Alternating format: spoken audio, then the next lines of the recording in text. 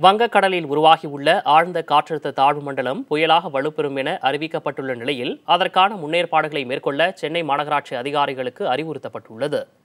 கடந்த மழைப்பொழிவின் போது தண்ணீர் அதிகம் தேங்கிய அனைத்து இடங்களிலும் மோட்டார்களை தயாராக வைத்திருக்க வேண்டும். தேவைப்படும் இடங்களில் கூடுதல் மோட்டார்களையும் கையிருப்பில் வைத்திருக்க வேண்டும் என அறிவுறுத்தப்பட்டுள்ளது.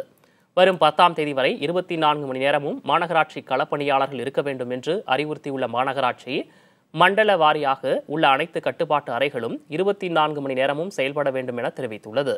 அனைத்து மழைநீர் வடிகால்களிலும் வெள்ள நீரை தடையின்றி வெளியேற்றுவதற்கு ஏற்ற வகையில் தயார் நிலையில் வைக்கப்பட்டுள்ளதை அதிகாரிகள் உறுதி செய்யுமாறும் அறிவுறுத்தப்பட்டுள்ளது.